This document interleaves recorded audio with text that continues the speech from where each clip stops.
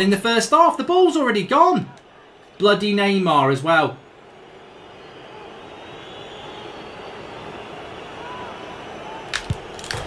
Oh, De Gea, you donkey. Joking.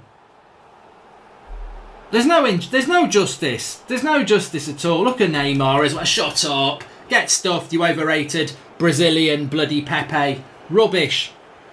De Gea should have saved that. I knew where he was going to put it. Bloody Neymar. I can't stand Neymar. Cheat. I, knew, I never even knew he was in the game.